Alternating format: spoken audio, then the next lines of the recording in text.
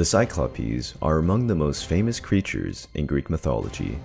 These old beings have, as their main feature, just one eye in the middle of their forehead. The Cyclopes were already present in pre-ancient times. The first Cyclopes were the sons of Uranus and Gaia. Since they were deeply powerful creatures, Uranus feared being dethroned by them, and for that, he imprisoned them along with his other sons, the Titans and the Hecatoncheires. The Cyclopes ended up imprisoned in Tartarus until they were released by Zeus, who wanted their help in the clash against the Titans. As a sign of gratitude, they forged incredible gifts for the gods. Poseidon was offered his powerful trident, able to cause tsunamis and earthquakes. Hades was offered a helm of terror, which gave invisibility to those who wore it. And Zeus was offered his powerful bolts, decisive to defeat the Titans. However, the Cyclopes, sons of Uranus, were killed by the god Apollo to commit an act of vengeance against Zeus. These were regarded as the first generation of Cyclopes.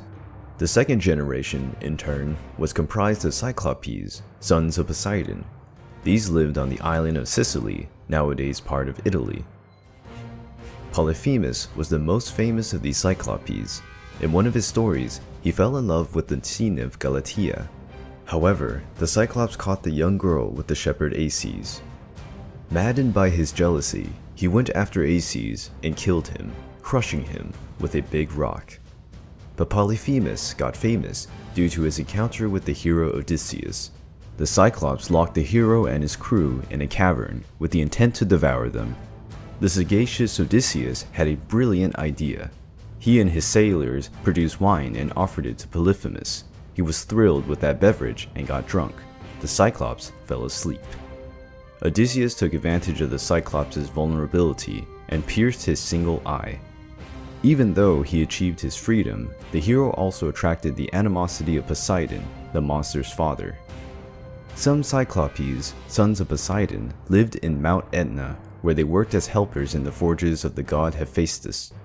There was also the third generation of Cyclopes, which lived in the region of Lycia. These were famous for having edified the walls of the glorious city of Mycenae. Due to their incommensurable strength, they could carry out impossible tasks for any human being. The figure of the Cyclops is still part of our culture. We often find it in fantasy stories or in RPG games. In pop culture, the figure of this creature is also present, like the Cyclops leader of the X-Men and also Leela of Futurama.